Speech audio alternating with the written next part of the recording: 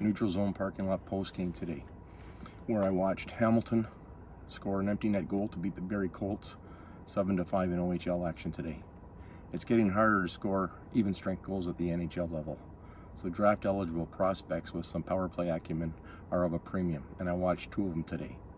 Uh, from Hamilton, number nine, Logan Morrison plays in front of the goalie's eyes on the power play, into the corners quickly to retrieve pucks and make plays, and uh, had a goal and an assist on special teams today in a four-point night.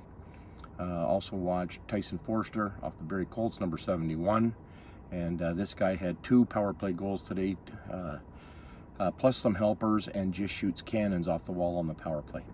One other guy I want to mention off of Barrie Colts is number 28, Riley Piercy. First rounder last year, but only scored three goals. Already has three goals this year in only 10 games.